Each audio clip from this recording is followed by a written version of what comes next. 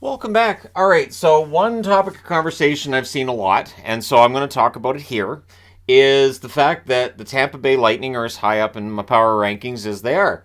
Their current record is 29 and 1. Their last 10 games they're 8 and 2 and they've won 5 in a row. Tampa just doesn't lose. Uh, they're 12 4 and 1 at home, so they're excellent at home and on the road they're pretty good. 8 and 5. Uh, their goal differential, they're scoring 24 more goals than they're allowing.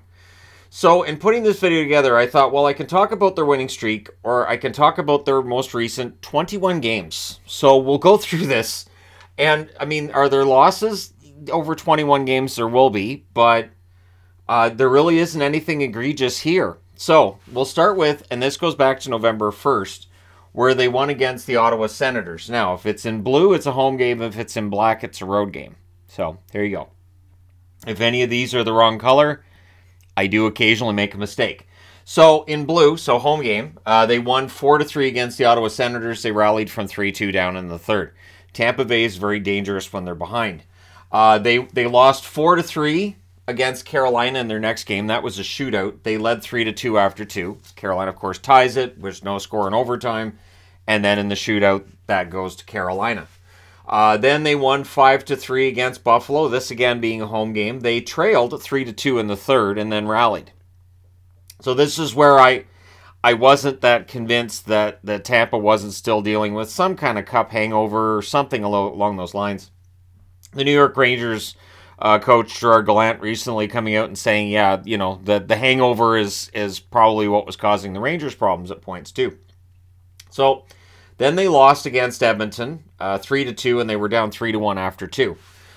So this to me is kind of the bottom. Although they go out on the road, they lose five to one. They trailed three nothing after two, and that's at Washington. So at this point, they're seven six and one.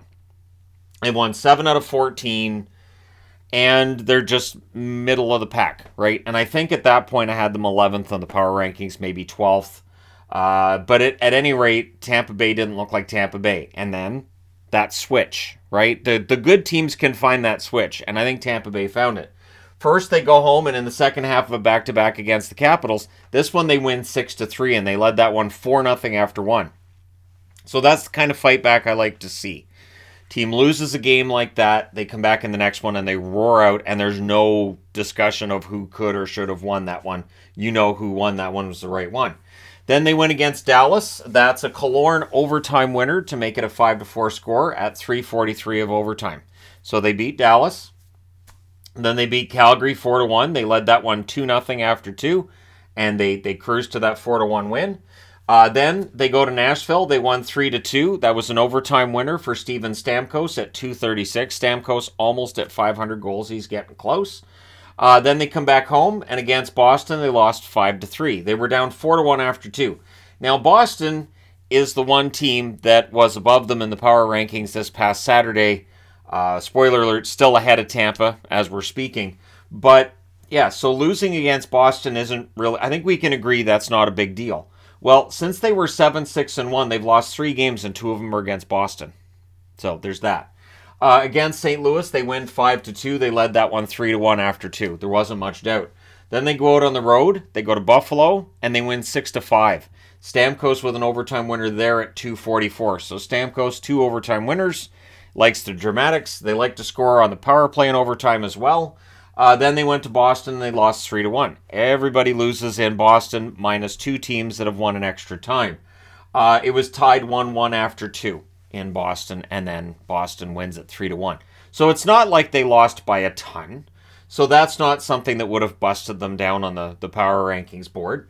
Uh, then they won. This is to start December. So this dividing line is the end of November. This is December. And they won 4 to 1 against the Philadelphia Flyers. They led that one 4 0 in the third before Philadelphia got that one goal to break the shutout. Then they win 4 to 3 against Toronto. That one's at home. That's an overtime winner for Killorn at 33 seconds of overtime. So Killorn and Stamkos are two guys you got to watch in overtime for Tampa. And if you're watching them, well, then Kucherov will probably bite you, or Brayden Point, or Hagel, or Nick Paul. There are a lot of options here. Ross Colton is considered an option. I guess Hedman, sure. Uh, Sergachev, yes. So there's there's a lot there with the Tampa Bay Lightning. Uh, then they lost at home against Detroit four to two. That one was that one they trailed one nothing after the second, and they threw everything and the kitchen sink at Husso in the third period in that one. It is remarkable. Detroit held the lead in that game. So again, Tampa Bay did they outplay Detroit? Yes. Uh, did they lose the game? Also yes. But then they bounced back. They went four to two against or five to two against Nashville. That one was tied two two after two. Uh, they won 4 to 1 against the Florida Panthers. That was 1 1 after the second. They win 6 to 2 against Seattle. That they led 2 to 1 after 1 and 5 to 2 or 5 to 1 after 2 and then they win at 6 to 2. And against Columbus they won 4 to 1. That one was tied 1-1 after 2. And then in Montreal on the weekend they win they win 5 to 1. They led 4 nothing after 2. So since they were 7 6 and 1, they're 13 and 3. They lost two against Boston. They lost a game against Detroit that, if not for the heroics of Ville Husso, eh, they probably win that one. They're getting good goaltending. Their defense has been excellent. Their offense is, as I said, pretty deep. So Kucherov's your leading scorer in Tampa because, of course, he is. In 30 games, 12 goals, 37 assists, 47 points. So he's on pace for a lot. Uh, so Stamkos, 30 games, 16 goals, 20 assists for 36 points. He's above a point per game. Uh, 72 points in 60 games, so 80s. He could end up with 95 to 100 points. Absolutely. Uh, Brayden Point, 30 games, 16 goals, 15 assists, 31 points. Very remarkably uh, consistent. I do like that his last name's Point, and he's good for a point per game since his last name is Point in every game. And, and I don't know a less awkward way of saying that. Vasilevskiy, 13 8 and 1 with a 915 save percentage. I think his play's gotten better after a, a rough couple of starts that he had. Uh, and I think he's been excellent. And same with Brian Elliott. Elliott had a rough first game of the year, and since then he's been very good. He's 7 and 1 with a 902 save percentage. There really isn't a weakness to, to speak of with the Tampa Bay Lightning at this point when you look at the roster. Uh, the one thing with Tampa Bay, I, I, I do think there are people that are probably tired of them. Probably like, all right, get him out of the way. That's it.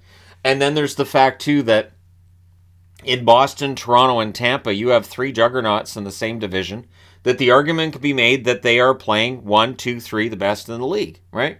So, uh, it really, with Tampa Bay, it will be uh, interesting to see as this month goes along and into next month. Do they end up being number one on my power rankings soon? So, uh, goals for per game, they're scoring 3.67. That's good. Their goals against per game, 2.83, which seems to be coming down uh, during this winning streak. Uh, their projected points. So this is through the Athletic. This is through the model they have on the Athletic. I do like to go through different models, and uh, they're seventh overall in the projected standings for the Athletic currently. 106.3 is where they project their points to be. I think that's conservative, but I understand too that this is different models and their their their schedule will get tougher. But you go with the schedule you're dealt, and being 13 and 3 in your last 16 is pretty darn good. Uh, their their cup chance currently again with the Athletic is five percent. I I would think the odds of the winning Stanley Cup might be higher, but we do have to remember this is a team that's gone to three straight Stanley Cup Finals. They've played a lot of hockey. That is about three quarters of a season's worth of extra hockey on top of all of the regular season games, and so it wears you down. Uh, one thing after the New York Islanders lost in a Stanley Cup final in 1984 uh, that was cited for them not getting their fifth straight Stanley Cup was exhaustion. They had played an extra season worth of games.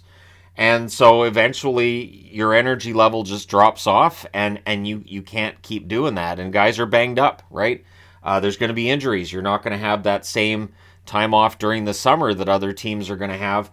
And so you might be a little more banged up at the start of the season than other teams are. And then you have the cup hangover. And I do think that that affected Tampa early. Like I said, they won seven of their first 14. Um, if you look, and, and again with the depth, I just went with the top three scorers because we could just go through the whole roster. You have Cirelli, who since his return has looked absolutely fantastic. That's a huge bonus for a team that was already playing pretty well. Sergachev, last I saw, injured. We'll see how long he's out, but there's a lot of depth on this blue line as well. Uh, Hedman, one of the best defensemen in the league. I say one of because there is an argument to be had right now. I think we're in a fantastic age for defensemen. I think there's a lot of really good defensemen in the NHL. Uh, you've got Hagel. Hagel has been absolutely remarkable, as has Nick Paul. Uh, when they added Hagel and Paul, I think the eyeballs were not only on winning another Stanley Cup, but I think it was on this season. They knew they were going to lose guys like Palat, and so you needed guys who could step in and provide the offense. And so far, Hagel and Paul have done exactly that. This is a team that has shed players over the last couple of off seasons, and they don't seem to lose anything during the regular season after. Uh, Ross Colton, excellent player, brought up through their, their minor league system, which is really remarkable in, in and of itself. Namestnikov's been good in a bottom six role. Has he scored enough? Probably not, but I mean, you haven't needed it yet if you're Tampa. Uh, Maroon, uh, solid bottom six forward. He finally got his first goal. He's been around the net enough to get that. Uh, Corey Perry, good veteran forward who can also pop in the odd goal here and there, provide some leadership. Tons of experience with Perry. Uh, Bellemare, good fourth line forward. You got Cernak, one of the better top four defensemen that people don't talk about, I think, nearly as much as they should. Uh, Ian Cole has been a good fit there too. Zach Bogosian, good veteran player, and Nick Perbix uh, has been one of those guys too. As I said about Colton, they always seem to have the next guy coming up. Tampa Bay is a remarkable team in how they're built. It is a remarkable team in how they remain uh, as one of the best teams in the league, despite all of the turnover, despite having to do cap gymnastics to stay under the cap. And honestly, they're in a position where they, they could very well win a third Stanley Cup in four years and become an official dynasty. And we've talked about which teams should qualify for dynasties or could, but if you win three cups in four years, that officially makes you a dynasty. And so for Tampa Bay, they're in the conversation. They are they're going to be one of the favored teams going into the playoffs. Uh, they've shown nothing this year to tell me they're not capable of doing it again. Uh, their depth again is fantastic, and they're going to be adding at the deadline. They're going to find a way to add at the deadline and they're going to be, I would think, even more dangerous um, going along because they're run the right way. This is a team that Julian Julien BriseBois run them the right way, uh, and and it's it's been he's he knows that balance between loyalty, so showing loyalty to your veterans, and when to cut a player loose because you just can't financially uh, justify you know certain demands and and satisfying those demands while acknowledging that the player is worth that kind of money. And I come back to Andre Palat. Palat's worth the money New Jersey's giving him. He's not playing right now due to injury, but he's an excellent forward. But for Tampa Bay, it didn't financially make sense for them to hold on to him.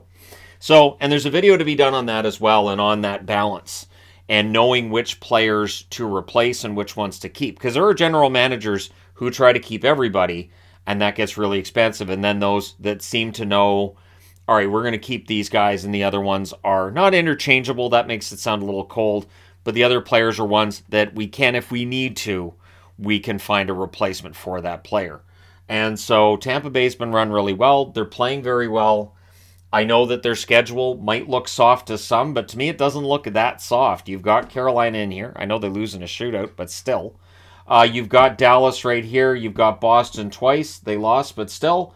You've got Toronto here. You've got Florida here. I understand Florida's below the playoff line, but still playing playing quite well. Seattle is above the playoff line, and they beat them six to two.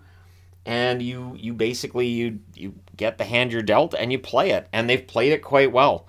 So let me know your thoughts in the comment section below. As always, don't forget to hit like and subscribe if you're browsing your way through. You just happened upon this video, uh, and and I I understand too that there may be those that are just tired of Tampa Bay always being this good but I think they're going to be this good for a while. But let me know your thoughts. Thank you guys so much for all your, your support along the way. I will talk to you again soon.